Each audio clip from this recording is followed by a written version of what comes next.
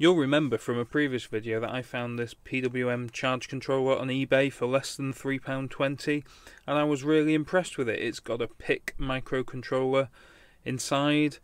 It is true PWM and I guess the only thing that was letting it down was the fact that it's only 3 amps.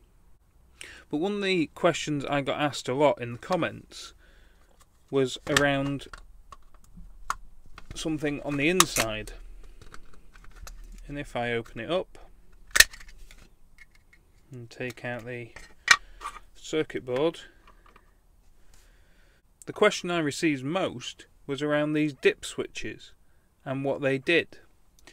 And I had cut out a bit of the video where I was turning these on and off and trying to work out what was going on and I couldn't work it out. It didn't seem to change any voltages of, of battery charging or anything like that but what I had noticed online is there were different versions of this solar charge controller available. There was one sold as a lithium ion solar charge controller and one sold as a nickel metal hydride charge controller. So I wondered if these changed the voltages uh, for different types of cells. So I went out and bought another one which looked absolutely identical but the information on the back says that this is a 7.4 lithium ion solar charge controller. So I wondered if those dip switches would be different. But before I even opened this case, looking inside the box, this one has a manual which didn't come with my last solar charge controller. And if I open it up,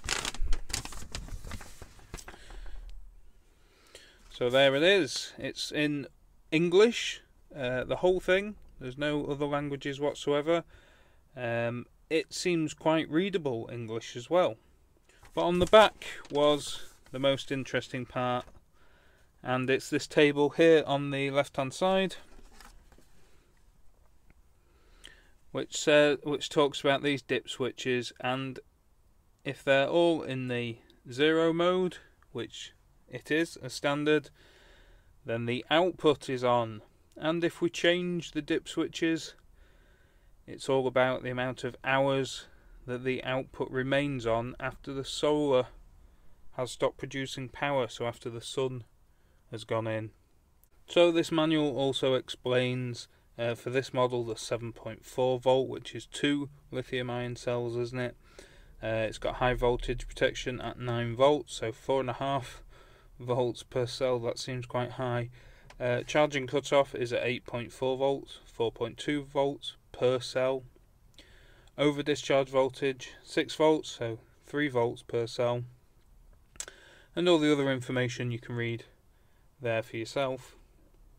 So I'll see what this does with a couple of lithium ion cells attached to it. I know you shouldn't trickle charge lithium ion cells, so perhaps this one's set to not use pulse width modulation uh, or to disconnect completely once it gets up to the 8.4 volts.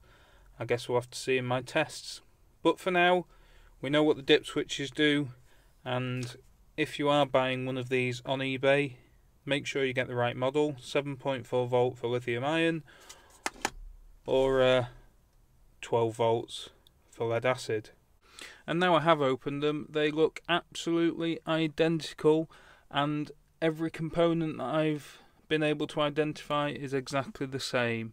So all the changes are in the PIC microcontroller between the 7.4 volt model and the 12 volt model, which I guess is understandable. It's just a matter of dumping a different firmware onto the same standard board. So with that question answered, I'll see you next time. Thanks for watching.